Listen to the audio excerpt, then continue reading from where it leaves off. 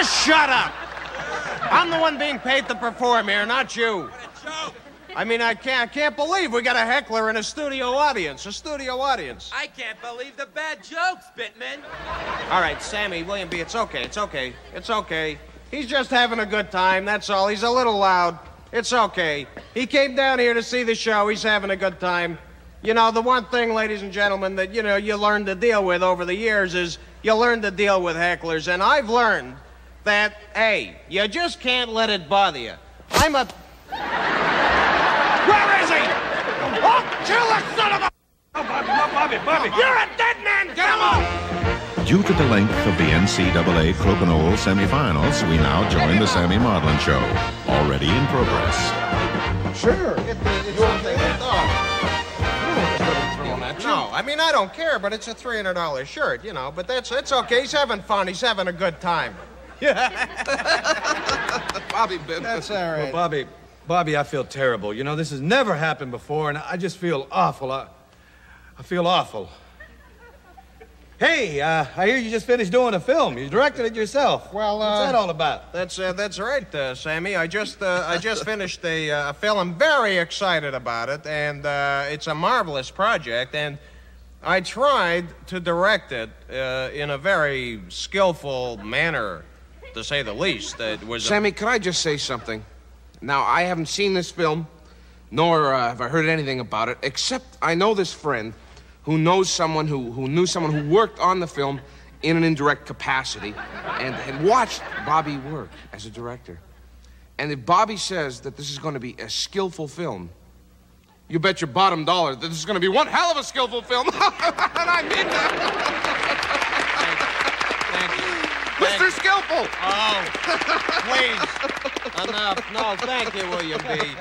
No, I, uh. This was a, uh, this film was a radical, uh, departure for me because it deals with psyches and personal psychologies, which leads oneself to attain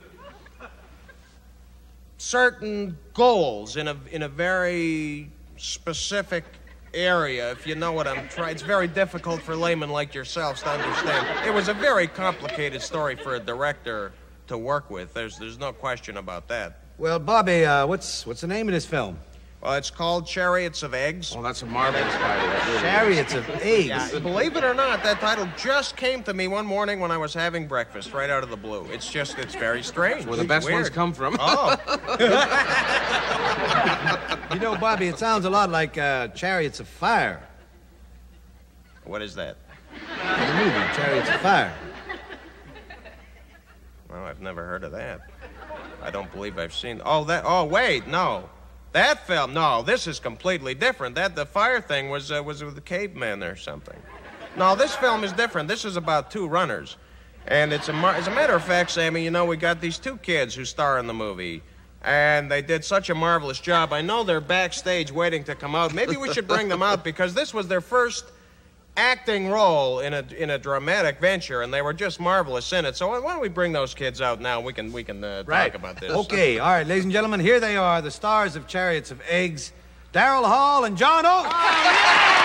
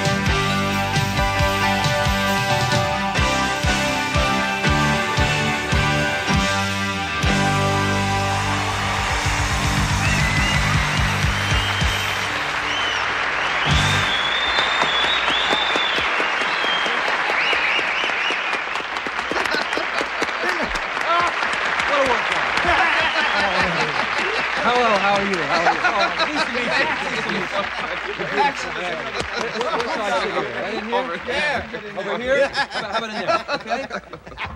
There you Oh, go. oh, oh, sorry, sorry. Okay. Uh, oh, here we are. Boy, this is something. What a trip. What a trip. Okay, ladies and gentlemen, we'll be back with more Bobby Bittman, Daryl Hall, John Oates, and a film clip from Chariots of Eggs right after this commercial message.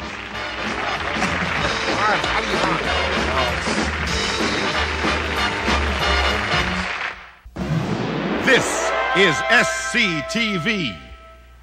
All right. Okay, we're back with the stars of Chariots of Eggs, Daryl Hall and John Oates, and comedian ah. turned director Bobby Bittman. Guys, I just want to ask you this, Daryl, John. Why the sudden switch from music to acting? I mean, why did you do this picture? Well, basically, we just loved Bobby's script. I mean, it was fantastic. and it, it, not only that, it deals with three things that are really important, I know to me, and I think John too. And it's, it's uh, personal goals and the freedom to pursue those goals and chicks. Yeah. For me, it's chicks. I mean, basically. All right. Now, Sammy, if if uh, if I may you say something about this clip we're about to see. Uh, you know, it's a period piece, which was a marvelous thing for me from a director's standpoint. But the story deals with two runners who are training for the big race, and and the marvelous thing is they're racing against women. Bobby, if, if I may just uh, add something here. Certainly. You know, um, there is a it is a marvelous twist to the story because I, I I don't think that the women are really interested in the men. Yeah, you know, they're, um, Lesbians? And I mean that in the good sense. I, I do. no letters. We're gonna get a lot now, you know. Okay. All right, why don't we take a look at that clip right now? This is Chariots of Eggs with uh, Daryl Hall and John Oates, and it's a new film by Bobby Bittman. Let's take a look at it right now. Yeah, right over there.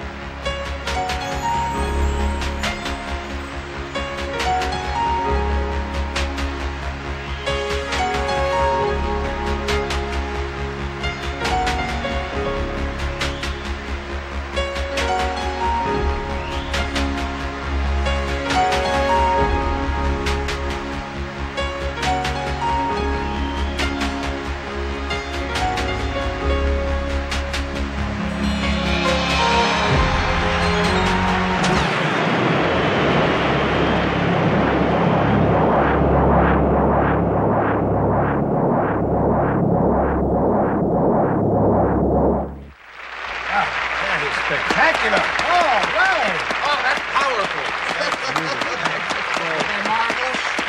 That is going to be some kind of film. That is just beautiful. You know, I, I just love that old-fashioned look. You know, that old Well, time. Sammy, you know, you know, uh, if I may, I set that film in the 20s because, personally, as a director, I thought it was a reasonably uh, hip thing to do, and the stylistic experimentation that, that I was uh, trying to All right, achieve- let's bring out the two chicks from Chariots of Eggs. Here they are, Holly Fawn and Dutch. Ah. Come on, let's bring them out.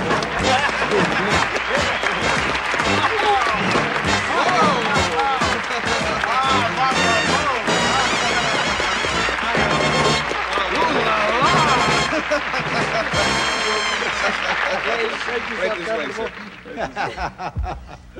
way, sir. Ah. Weren't they marvelous? Got enough Not room enough here? here. No, I'll, I'll just kneel down here, Sam. Okay, make yourself comfortable.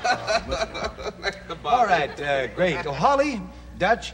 Now, look, I just, I have to ask you this question. I know you get asked it a lot, probably all the time, but because of the movie, what you do in the movie, uh, are you two uh, really, No, of course not. Get real.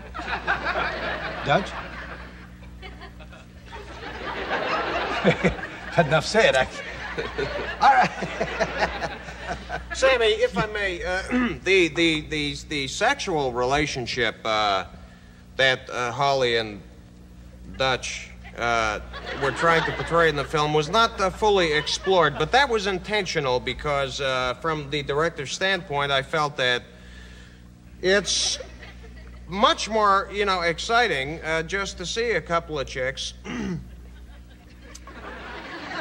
Holly, would you not agree with that statement? Uh, honestly, Bobby, as an actress, I'd have to say no. What about you, Dutch? Don't bother me. Oh, there's the music. Looks like we're out of time. Oh, sorry. Ladies and gentlemen, I'd like to thank my special guests tonight, Daryl Hall, John Oates, of course, uh, Bobby Bittman, and uh, Dutch and Holly Fawn for being on the show. Thanks a lot. You've been a wonderful audience. Good night, everybody. Some guests of the Sammy Maudlin Show stay at the Seaway Motor Lodge, home of the world famous Lash LaRue Lounge.